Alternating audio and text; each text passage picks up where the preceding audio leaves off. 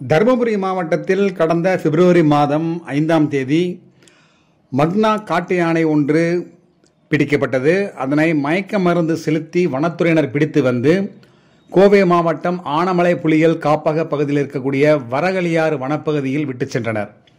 தொடர்ச்சியாக அந்த மக்னா யானை கண்காணிக்கப்பட்டது. பத்து நாட்களாக அங்குமிங்குமாக சுற்றித்திருந்த இந்த மக்னா யானை இருபதாம் தேதி மாலை டாப் ஸ்லிப் வனப்பகுதியிலிருந்து பொள்ளாச்சியை நோக்கி மலையிறங்க ஆரம்பித்திருக்கிறது.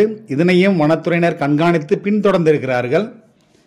இதற்கிடையே சேத்துமடை ஆத்து பொள்ளாச்சி பொள்ளாச்சி ஆகிய பகுதிகளை கடந்து வந்த இந்த மக்னா யானை நேராக நேற்று முன்தினம் இருபத்தி ஒன்றாம் தேதி மாலை கோவை மாநகர பகுதிக்குள் நுழைந்தது.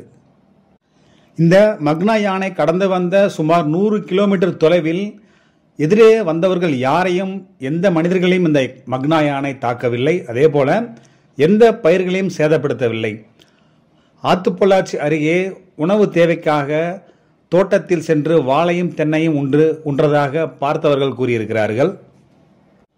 இரண்டு நாட்களாக கோவை குனியமுத்தூர் மதுக்கரை ஆகிய பகுதிகளிலே சுற்றி வந்த இந்த மக்னா காட்டு யானையை காவல்துறை வனத்துறை வருவாய்த்துறை மற்றும் வன ஆர்வலர்கள் ஒன்றிணைந்து கண்காணித்து வந்தனர். மக்கள் அதிகமாக வசிக்கக்கூடிய பகுதியிலே யானை தெரு உலா வந்தாலும் யாரையும் தாக்க முற்படவில்லை என்பது குறிப்பிடத்தக்கது. எனவே இந்த யானை தனது வாழ்விடத்தை தேடி வருகிறது என வன ஆர்வலர்கள் கண்டறிந்தனர். பொதுவாக யானைகளின் இயல்பு என்னவென்றால் அது வாழ்விடமான கானக பகுதியிலிருந்து தொடர்ச்சியாக நடந்து கொண்டே இருக்கும். ஆனால் அதற்கான வலசை பாதைகள் என அதன் முன்னோர்கள் அந்த முன்னோர் அந்த யானை கூட்டத்தின் தலைவனாக இருக்கக்கூடிய யானைகள் வழிவகுத்திருக்கும். ஆனால் தற்பொழுது இந்த யானை தருமபுரி மாவட்ட வனப்பகுதியிலிருந்து சுமார் இருநூறு கிலோமீட்டருக்கு மேலாக கோவை மாவட்ட கோவை பகுதியில் சுற்றித் திரிகிறது பொதுமக்களுக்கும் எந்த ஆபத்தும் வரக்கூடாது. யானையும் பத்திரமாக காட்டுக்குள் கொண்டு விட வேண்டும் என்ற மிகுந்த எச்சரிக்கையில் அதிகாரிகளும் வனத்துறையினரும் வேலை பார்த்து வரு இரவு பகலாக வேலை பார்த்து வருகிறார்கள்.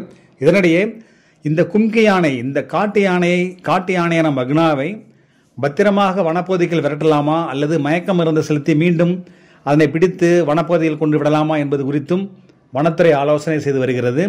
இதனிடையே டாப் ஸ்லிப் யானைகள் முகாமிலிருந்து பயிற்சி கொடுக்கப்பட்ட கும்கி யானையான சின்னத்தம்பி பேரூர் பகுதிக்கு வரவழைக்கப்பட்டிருக்கிறது.